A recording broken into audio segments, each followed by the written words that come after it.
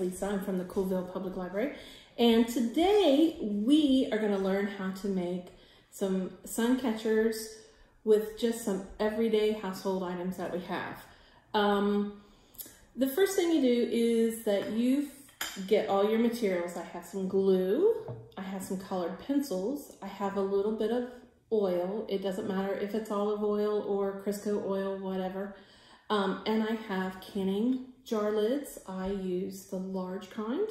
Uh, they're very cheap and honestly you can use used ones that you've already used to can with. Uh, also have a pair of scissors, a pencil, and having a couple paper towels is always handy to have by, by you. Um, the first thing I did was I found a coloring page that I, I liked. Um, my tip for the day is to find one that doesn't have anything on the back of it. It's just printed on one side. There's nothing on the other side uh, because when you put your oil on it, it will bleed through. You can see the other side, not very pretty. So they say that coloring is very relaxing. And so you can do this any place, anytime. And this craft is for adults and children. Uh, anybody can do it. So first you find your coloring page and you color it. And as you notice, I've, I've uh, got one partially colored right here.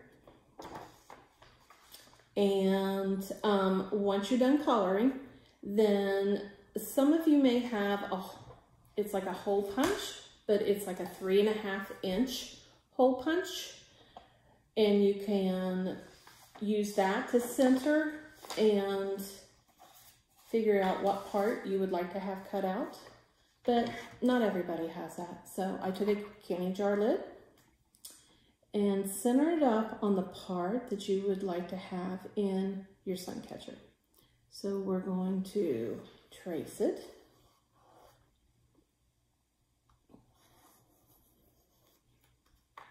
And then we take a pair of scissors, cut it out.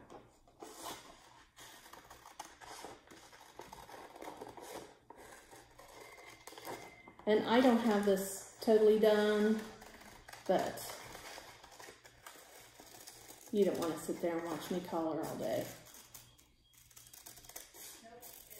So we will just do it. So we've done this. Okay. I use mark. I used colored pencils to color with. Um, they say that you can use markers. I've never tried the markers, um, but I do like the coloring pencils. So let's put this aside, get that out of our way. Now you have your circle, and this is what's going to go on the inside of your canning jar lid. Now it's a little bit bigger, and you'll have to work it in, but you can do that. So you take a little drop of oil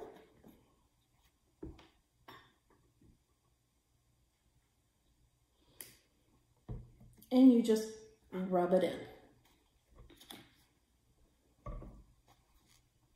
And just kind of coat it, just, just add a drop or two. And this is why you have the paper towels because it is kind of a little bit messy. This is the only messy part of it.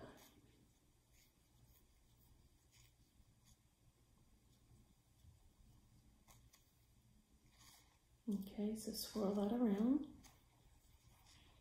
a little bit.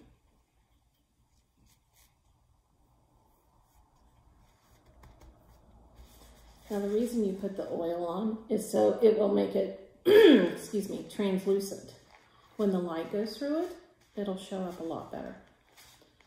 So to speed things up a little bit, I'm going to blot my coloring page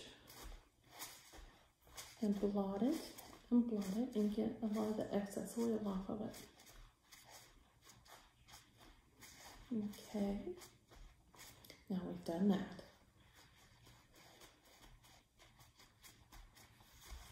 Okay, so this is your finished coloring page. Great big canning jar ring. And now what you do is you put a little bit of glue on the inside.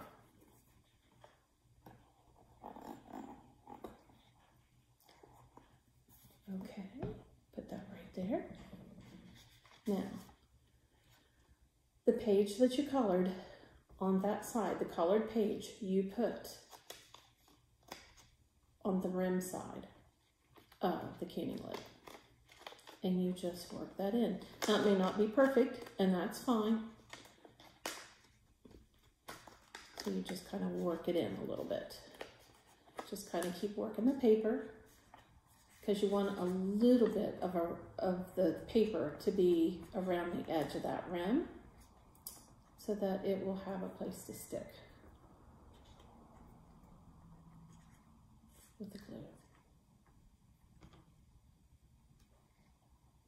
Not hard, pretty easy and adults and children can do this. Um, if you've noticed, I did some adult coloring pages, um, but if your child does any kind of, of coloring, you can easily cut it out, put it in this, and I'm sure your child would love seeing their artwork up on the windows. Now, if when you hang these, you can take fishing line and you can tie it around your canning jar lid and hang it from there. And just hang it from the window like that. I like them. And they look really nice on your windows, and especially when the sun's out. So, hope you enjoyed this. Hopefully, uh, you can do a few with several of the things that you have around the house. Um, or if you have to go buy it, they're not very expensive. So your Dollar Tree, um, the dollar stores, any of those will have this stuff. So thank you for sitting and watching me do this and hopefully have fun with your crafting. Bye.